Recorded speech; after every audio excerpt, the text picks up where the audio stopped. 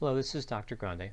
Welcome to my video on conducting the Fisher's exact test using SPSS.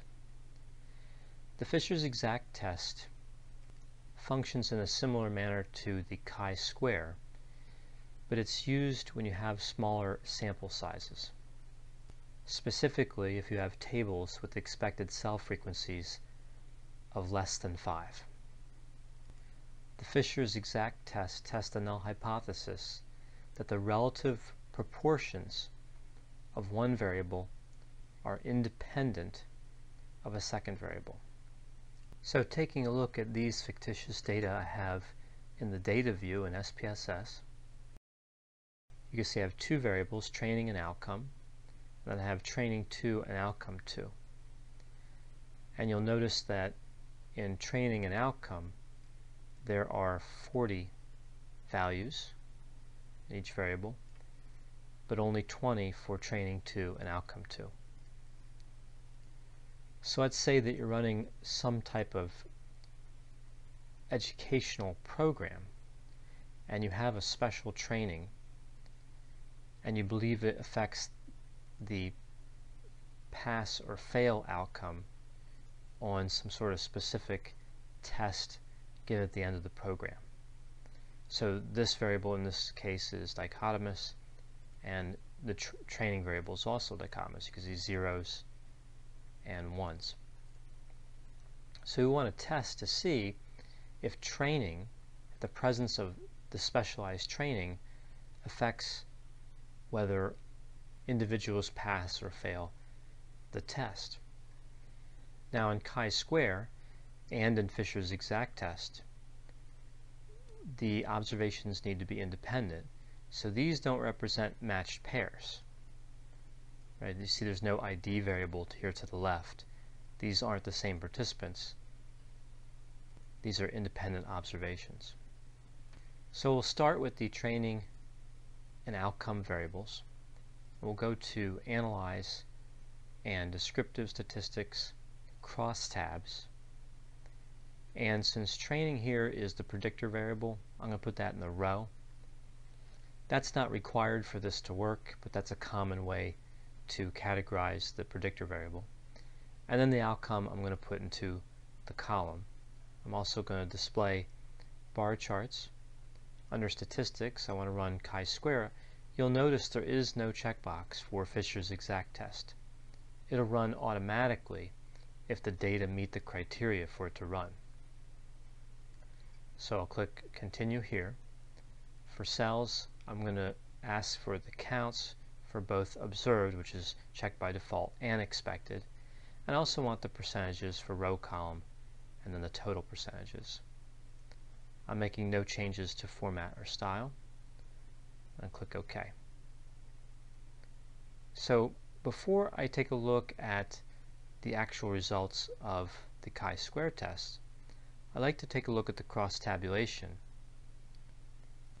and examine the counts, in this case for the training and no training levels of the independent variable.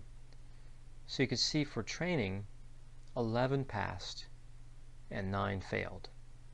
And for no training, 4 passed and 16 failed. So before even looking at the p-values, I can see that it does appear that the training has more of an effect than no training in terms of predicting a pass result. But in order to determine if there's statistical significance, of course, we have to go down look at the chi-square tests. And you can see here below the table, it says that zero cells have expected count less than 5. So in this case, we're going to interpret the Pearson chi-square and not the Fisher's exact test. Now as you can see, if we're using an alpha of 0.05, we have statistical significance either way.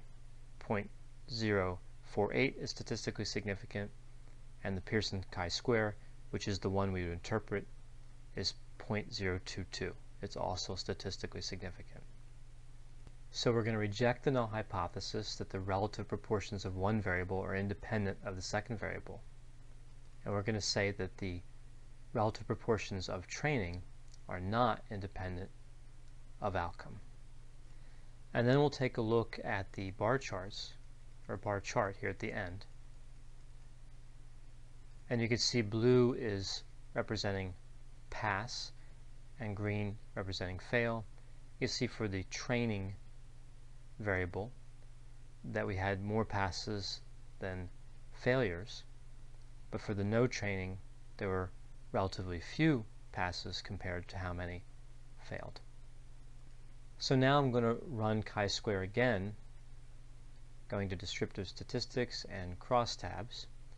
I'm going to leave everything the same except I'm going to change out the variables. And instead of training and outcome, I'm going to use training 2 and outcome 2. And you might remember there's a smaller sample size here. I'll click OK. And again, I'm going to take a look at this cross tabulation. And you can see that in the training, the training level, we had 8 pass, 2 fail, but the no training level, 3 pass, and 7 fail. So if we move down to chi-square test here, again, remember you want to read below the table here first. Two cells have expected count less than 5. All right, so in this case, we want to interpret the Fisher's exact test and not interpret the Pearson chi-square. And in this particular example, this changes the conclusion you would draw. You can see Pearson chi-square is statistically significant, but the Fisher's exact test is not.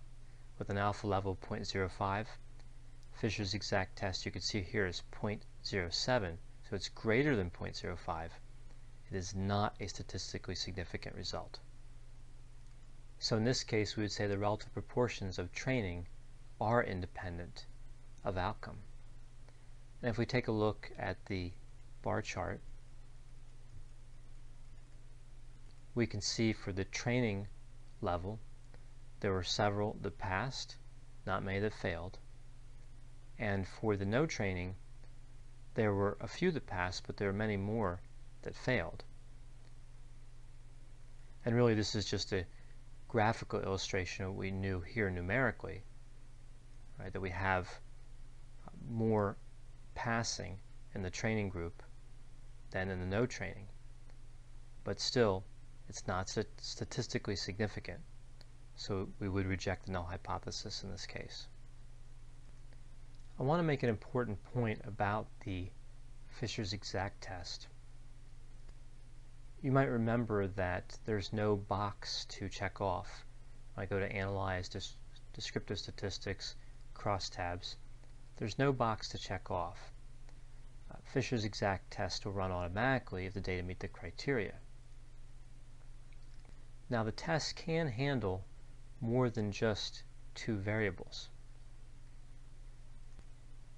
But whether you have two variables or more, the variables must be dichotomous.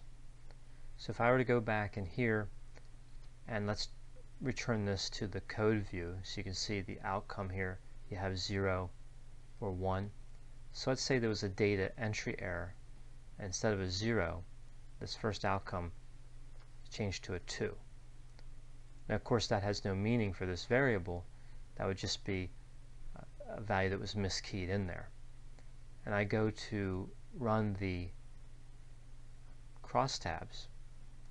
And again, I have training 2 and outcome 2 already in here. So this is the same analysis I, I ran before, except I have that one value that's a 2 when it should have been a 0. As I move down to chi-square test, notice that there is no Fisher's exact test here. You still get the uh, expected count less than 5 warning down here, but there is no Fisher's exact test. It did not come up because that variable is not dichotomous. If I were to go back and change that to 0 and rerun the same statistic using the same settings, you can see that it's back. So the Fisher's exact test is a useful statistical test when expected cell frequencies are less than 5 and the variables are dichotomous. In addition, the observations need to be independent.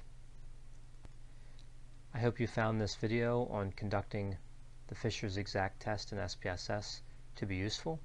As always, if you have any questions or concerns, feel free to contact me, and I'll be happy to assist you.